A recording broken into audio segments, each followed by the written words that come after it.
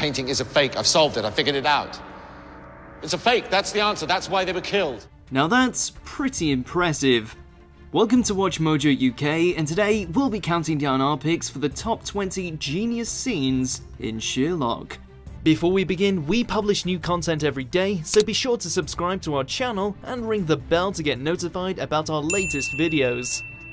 For this list, we'll be looking at various scenes in which characters, usually Sherlock, exhibit genius traits, astonishing intellect, and or impeccable planning. Basically, anything that made us respect the intelligence of the characters involved.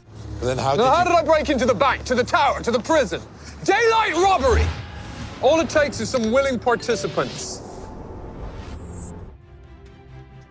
Number 20, Sussing Out the Safe. A scandal in Belgravia. That's not why I'm here. No, no, no, you're here for the photographs, but that's never gonna happen. It's scenes like this that prove the brilliance of Sherlock and Watson as an investigative team. When Sherlock originally meets Irene Adler, he has extreme trouble reading into her due to her utter lack of clothing. But then Watson and Sherlock team up for a dazzling bit of deduction. Watson lights a magazine on fire in order to trigger the smoke alarm, leading Irene to nervously glance at the secret location of her safe. On hearing a smoke alarm, a mother would look towards her child. Amazing how fire exposes our priorities.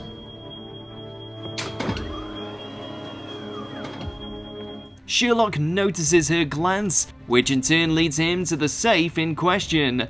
It doesn't require Sherlock's otherworldly intelligence, but it's nevertheless a very smart and very funny trick. It's masterful in its simplicity. Number 19, the £9 million hairpin, The Blind Banker. How do you know that? You weren't just his PA, were you? At the end of The Blind Banker, Sherlock discovers that Van Coon and his secretary, Amanda, have been in a secret relationship, and he makes this deduction through simple hand soap.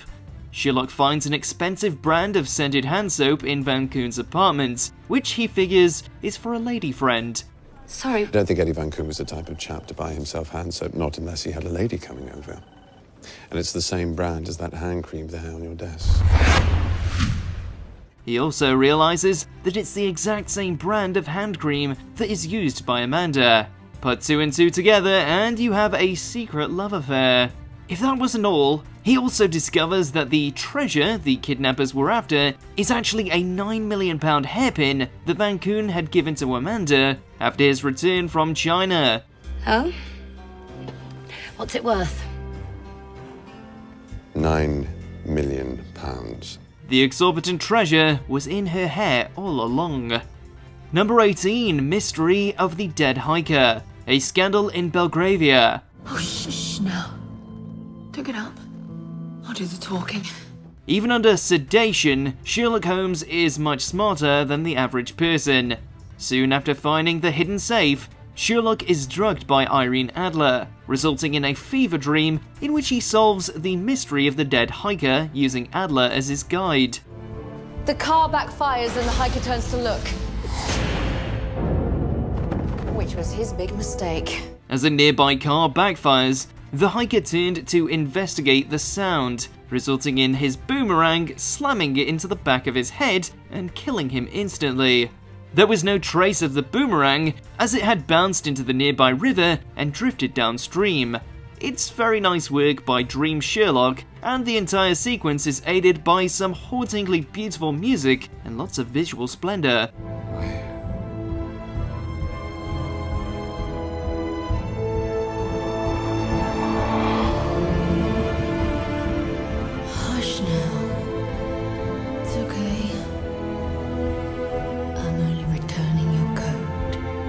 Number 17, Studying the Lady in Pink. A Study in Pink.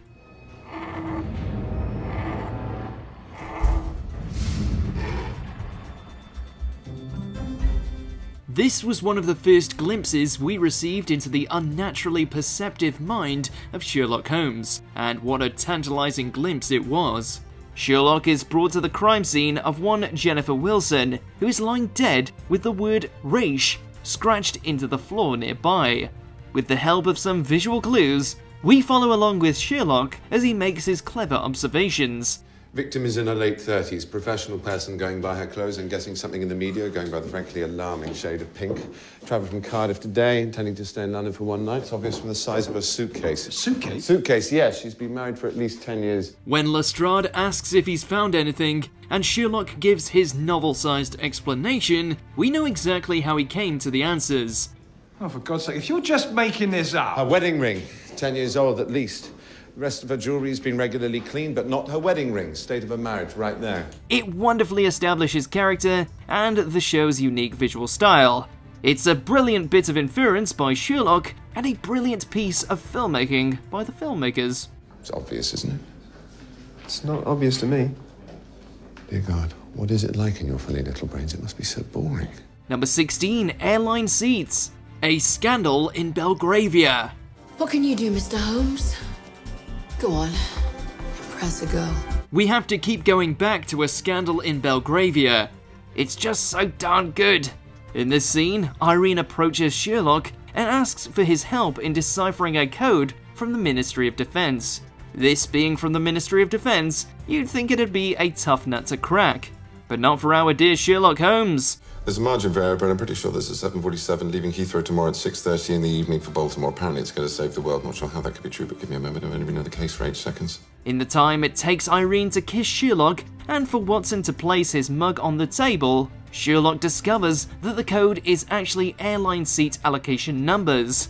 Not only that, he figures out the exact flight, its departure time, and its destination.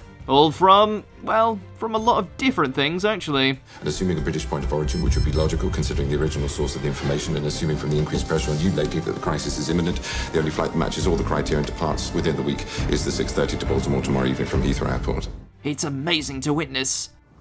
I would have you right here on this desk until you begged for mercy twice. Number 15, cracking Jennifer's phone. A study in pink. If you'd been murdered in your very last few seconds, what would you say? Please, God, let me live. Use your imagination. While studying Jennifer Wilson, aka the Lady in Pink, Sherlock discovers that she was scratching Rachel into the floorboards, but died before completing the L. They reckon that this is the name of her deceased daughter, but it's actually far more than that. Is it nice not being me? It must be so relaxing. Rachel is not a name. Then what is it? John, on the luggage there's a label, email address. Sherlock finds an email address on the tag of Jennifer's luggage and infers that she did business on her smartphone rather than a laptop. He uses the email address as her website username and deduces that Rachel is actually her password. So we can read her emails, so what? Anderson, don't talk out loud. You lower the IQ of the whole street. We can do much more than just read her emails. She had planted her phone on her killer in the desperate hope that someone would find them using its GPS signal. Number 14, the Mayfly Man, the sign of three. But more importantly, The Sign of Three is an interesting episode in that it uses John and Mary's wedding as a catalyst to explore a variety of smaller cases. One concerns the so called Mayfly Man, a man who impersonated deceased males and occupied their recently vacated apartments to have affairs with women. But the truth is actually far more complex. Sherlock discovers that the Mayfly Man actually courted women who worked for Major James Sholto, Ah, the photographer. Excellent. Thank you. Uh, may I have a look at your camera? ah What's this about? I was halfway home. He used them to get info about Sholto's whereabouts so he could murder him in retaliation for his brother's death, who died under Sholto's command. He also manages to find the Mayfly man posing as the wedding photographer. You only ever see.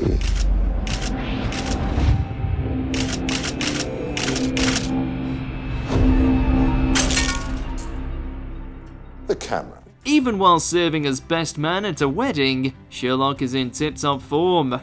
Number 13, Moriarty breaks into the crown jewels, the Reichenbach Fall.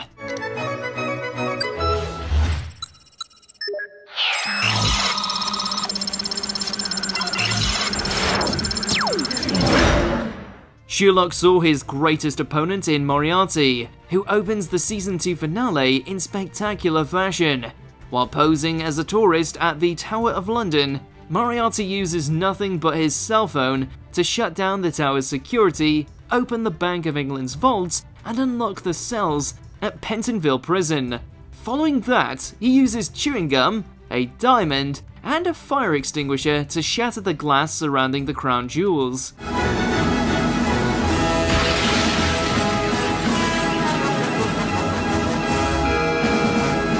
All that while turning Sherlock into a social pariah and a wanted man. In the end, we learned that Moriarty didn't actually utilize a fancy code to do all that. He just bribed security. You wanna hate villains, but Moriarty is just way too smart and way too much fun to hate. No rush. Number 12, The Guardsman, The Sign of Three. Now there is a man in there about to die. The game is on. Solve it! Another intriguing mystery found within the Sign of Three is that of the Queen's guardsman, Bainbridge. Bainbridge had supposedly been stabbed to death, but the lack of a weapon and escape route resulted in the case going cold. By the end of the episode, the case interconnects with the Mayfly Man and Sholto subplot that was previously discussed. Bainbridge had been stabbed with a stiletto blade, but his tight military waist belt had prevented him from suffering the effects. Don't take off your belt. My belt. His belt. Yes, Bainbridge was stabbed hours before we even saw him, but it was through his belt. It isn't until his belt is loosened that the flesh part and the body reacts to the stabbing. Sherlock also concludes that the Mayfly man had stabbed Bainbridge to practice his killing of Sholto. This type of dexterous storytelling is why we love Sherlock. I believe I am in need of medical attention. I believe I'm your doctor. Number 11, The Fake Vermeer, The Great Game. That painting has been subjected to every test known to science. It's a very good fake, then. You know about this, don't you? This is you, isn't it? While observing a supposed Johannes Vermeer painting, Sherlock receives a call from a child hostage telling him that he has 10 seconds to prove the painting is a forgery. What follows is perhaps the best 10 seconds of Sherlock history. Jesus. It's a fake. How can I prove it? How? How? Oh! This kid will die. Tell me why the painting is a fake. Tell me! No, shut up. Don't say anything. Only works if I figure it out. He eventually finds that the painting depicts the so-called Van Buren supernova, which was observed on Earth in 1858. Therefore, it couldn't have been possible for Vermeer to paint the supernova in the 17th century. This is actually a case of artistic license, as there is no such supernova that was observed in 1858. Exploding star only appeared in the sky in 1858. So, how could it have been painted in the 1640s? Regardless, it's a wonderful and exciting conclusion that caps a wickedly tense sequence. Number 10 Capturing Smith's Confession The Lying Detective. Once more for luck. Sorry. Introduced in Series 4, Toby Jones's Culverton Smith cuts a shifty and suspicious kind of character from the off, despite his philanthropic and entrepreneurial reputation. And it didn't take Sherlock long to twig Smith's true villainy, capturing his confession with a perfectly laid trap. Killing human beings.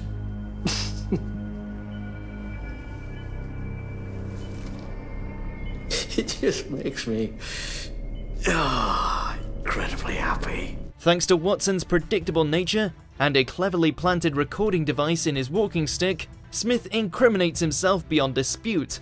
Of course, much hinges on John arriving to save Sherlock so that the confession can be released, but that was never in doubt either. Mr. Holmes, you okay? What were you doing? Number 9 Meeting Kitty Riley. The Reichenbach Fall. You're him. First impressions are everything, and Sherlock knows that better than most. Here he runs into a supposed superfan, but he immediately works out the ruse.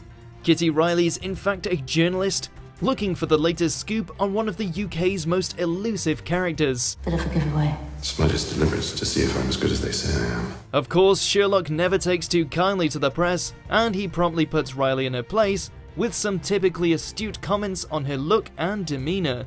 The whole scene sizzles with intensity as each tries to outplay the other. But there's only one winner here. I'll give you a quote if you like. Three little words.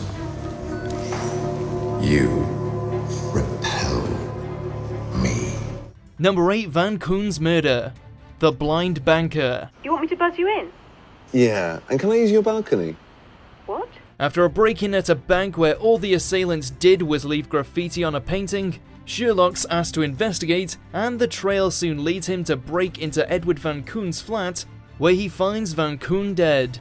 Watson and the rest of the police rule suicide until Sherlock deduces otherwise. Oh, good, you follow. Nope. The super sleuth explains how Van Coon's apparent obvious left-handedness makes it very unlikely that he shot himself, rattling through a list of simple but brilliant observations to back up his theory. And there's some trademark sarcasm just for good measure. Do you want me to go on? No, I think you've covered I might as well. I'm almost at the bottom of the list. There's a knife on the breadboard with butter on the right side of the blade. Number 7 London Maps. A study in pink. Left turn only, traffic lights. Sherlock's got one hell of a memory on top of everything else, which he uses to solve this case in the show's first ever episode. Chasing a taxi through the streets of London, with Watson just about keeping up, he employs a photographic knowledge of the city, including the latest roadworks and diversions, to eventually catch his target. The scene does leave one question unanswered though. Why does Holmes use cabs as frequently as he does if he can travel just as quickly on foot? Seems like a waste of fare money. Sorry, are you guys the police? Yeah. Everything all right? Number 6, I am Sherlocked. A scandal in Belgravia. Uh, Jim Moriarty sends his love. Yes, he's been in touch. We're picking apart passwords next, as Sherlock's faced with the four digit code to Irene Adler's infamous phone. And with apparently endless combinations in front of him, we spend the entire episode trying to figure out what it is. Nicely played. No. Sorry? I said no. As usual, the actual solution is so painfully simple that we're kicking ourselves for not realizing it sooner, as Sherlock's thrown into an unexpectedly emotional exchange. I've always assumed that love is a dangerous disadvantage. Thank you for the final proof. The I am Sherlock line quickly became a mantra for the show, and understandably so. Number 5 Sherlock gets shot. His last vow. Sherlock's no stranger to injury, but he usually escapes fairly unscathed, until Mary shows up, that is. Just as we find out Mary isn't all she claims to be, she goes and shoots our gifted detective. But things are never simple in this show. Not even point blank bullet wounds. If the bullet had passed through you, what would you have heard? The mirror shattering. Time seems to stop and Sherlock has seconds to determine how to fall to reduce the damage done. An ultra intense moment with viewers begging him to think fast. Holmes's ability to make the right call was never really in doubt, was it?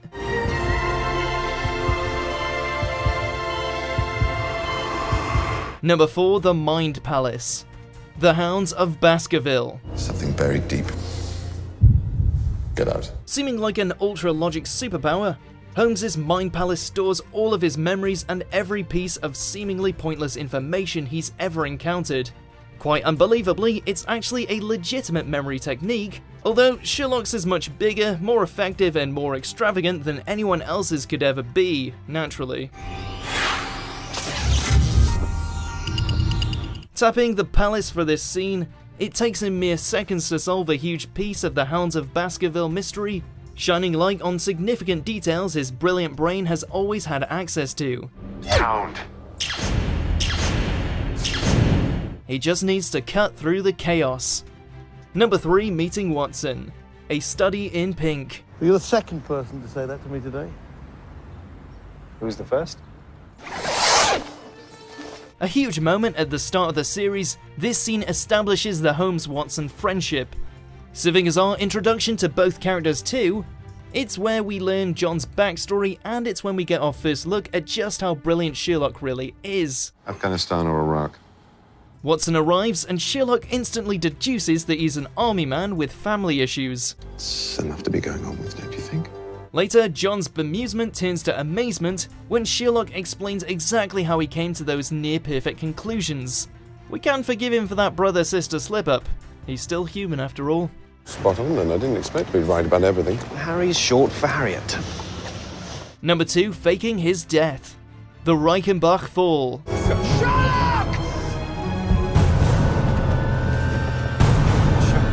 For one of the biggest surprises in the entire show, Sherlock jumps to his death at the end of Series 2.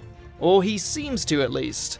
We soon learn that the sleuth is still alive, but how did he do it? Oh no, you. Oh, yes. Oh my god. I'm not quite. You died. You jumped off a roof. No. Fans had to wait two theory filled years to find out, with the first episode of Season 3 proposing multiple possibilities, including a plan involving a Sherlock mask, Derren Brown, and a bungee cord, and another hinging on a giant crash mat. I needed to hit the airbag, which I did. It's all about ambiguity here though, with some fans still unconvinced by Sherlock's version of events. What do you think? Number 1 The Couple in the Pub. The Hounds of Baskerville. Henry's right. What? I saw it, too. It's not often that Sherlock shows his emotions, but here his straight-faced facade slips just for a second, so he starts to question his most valuable asset, his mind. But just because he's scared doesn't mean he's not still brilliant, and he proves this by deconstructing a random couple nearby. Where should we start? How about them? Revealing everything from their familial relationship to the breed of the lady's pet dog, he's very clearly still in control, turning simple observations into spectacular details. She's got a man's wedding ring on a chain around her neck. Clearly her late husband's too big for her finger. She's well dressed, but her jewelry's cheap. She could afford better. In case we didn't know it by now, nothing phases this guy. Not even a supposedly supernatural killer hound. The solution is always within his grasp. So you see, I am fine if I didn't have been better. So just leave me alone. Do you agree with our picks? Check out this other recent clip from Watch Mojo UK and be sure to subscribe and ring the bell to be notified about our latest videos.